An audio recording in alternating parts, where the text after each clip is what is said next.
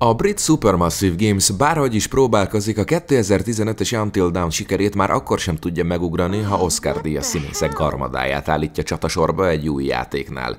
Ennek elsődleges oka pedig, hogy az Until Dawn a lehető legjobb időben jött ki. A Quantic Dream épp leuralta a piacot az interaktív játékokkal, amikor a Supermassive előlépett és az utóbbi idők egyik legjobb slasherje tette le az asztalra, csak épp videójáték formájában. A horror téma bejött a csapatnak, úgyhogy pár év múlva útnak indult a The Dark Pictures antológia. Érdekesség, hogy minden egyes rész a valóságból merít. Az első része a Jörang Medan hajó eltűnéséből, a második az Andoverben megesett borzalmas boszorkányperekből, míg a harmadik egy 4000 évvel ezelőtti mítoszból. Az új epizód, a The Devil in Me azonban sokkal hátborzongatóbb alapokon nyugszik. Amerika első ismert sorozatgyilkosán. Henry Howard Holmes 27 gyilkosságot ismert be, amiből mindössze 9-et sikerült rábizonyítani. Drogériát, majd később hotelt is üzemeltetett, amelyet úgy alakított ki, hogy rejtett folyosók, titkos szobák, csapóajtók és elmozduló falak is helyet kaptak bennük. Áldozatait ezekkel csalta törbe, majd megkínozta és megölte őket, a testeket pedig elégette vagy savban oldotta fel.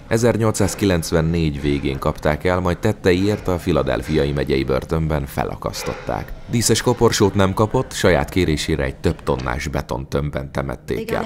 A csapdákkal teli hotel gyilkos kastély néven vonult be a történelembe, megágyazva nem csak egy American Horror Story évadnak, de az új The Dark Pictures játéknak is. A prológusban mindjárt az 1800-as évek végére térhetsz vissza, amikor is egy gyanútlan pár érkezik a hotelbe. Maga Holmes köszönti őket a recepción, majd a szobákat kiadva nem kell sokat várni az első gyilkosságra. Itt még nem menthetsz meg senkit. Ez a rész kifejezetten oktató módként szolgál, bár kisé elkapkodott lett. Túl gyorsan csap bele a lecsóba a játék, és bár előre tudod már, hogy az egész jelenet csak előételként szolgál a véres lakomához, a nyáron megjelent The Quarry mindezt sokkal stílusosabban és hatásosabban tudta kivitelezni. Ezután ugrás a jelenbe, ahol egy filmes stáb készülődik, hogy a gyilkos kastély pontos másába látogassanak, miután egy rejtélyes alak meghívta őket.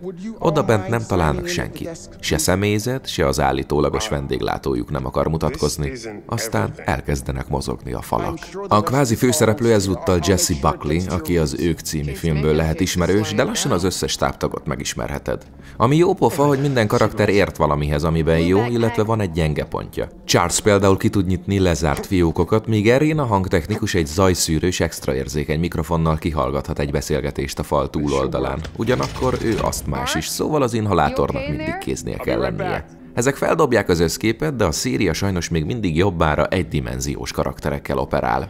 A The Devil in Me első fele kifejezetten vontatott, ugyanis a szigetre való megérkezés után akad egy szörnyen monoton, leszakadunk a csoporttól és magunk fedezzük fel a helyet szegmens, ahol a játék megmutatja ugyan a széria újdonságait, de rettentő mód el lett nyújtva az egész. Ez pontosan olyan rész, ami ha a Netflixen lenne, az ember már nyúlna a 10 másodperces előretekerésért.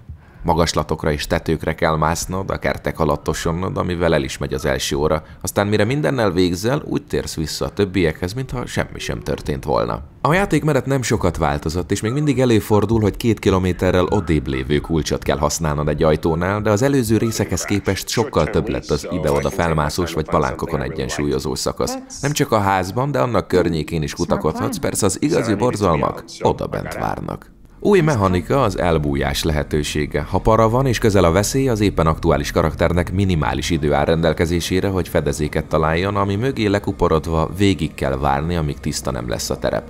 Jó pofa, de egy-két kivételtől eltekintve felesleges elemnek éreztük, ellenben a sztori a végére kellőképpen összeáll, és a borzalmas múltbéli eseményekkel együtt egy meglehetősen kellemes limonádé horror kerekedik belőle, amely talán még egy második végigjátszást is megérhet, maximalistáknak persze akár többet is.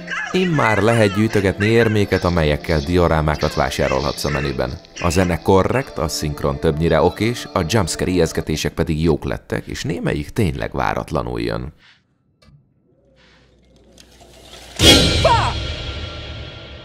A grafika jól láthatóan szintet lépett. Mind PC-n, mind konzolon roppant realisztikus a szereplők mimikája és a környezet is. PS5-ön a DualSense képességeit is kihasználja a játék, ami nem csak a QTR részeknél jön jól, de például a kinti helyszíneken az eső kopogását is érezheted. A mozgás animációk azért elég furák. A futást, pontosabban kocogást nem tudjuk, hogy ki modellezte le, de gyaníthatóan még életében nem látott a sétálásnál gyorsabban közlekedő embert. Az egyébként is jellemző a karakterekre, hogy mindent iszonyatosan lassan és ráérősen csinálnak.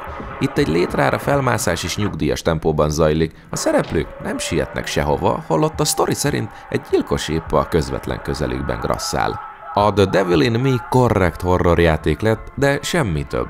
Évad zárónak azért többet vártunk volna. A Supermassive végérvényesen berendezkedett a közép kategóriára, és már nem is akarja úgy megreformálni a műfajt, mint azt 2015-ben tette. Ennek ékes példája a kötelezően belógatott következő rész előzetese is, amely egyébként a távoli jövőbe és az űrbe visz majd.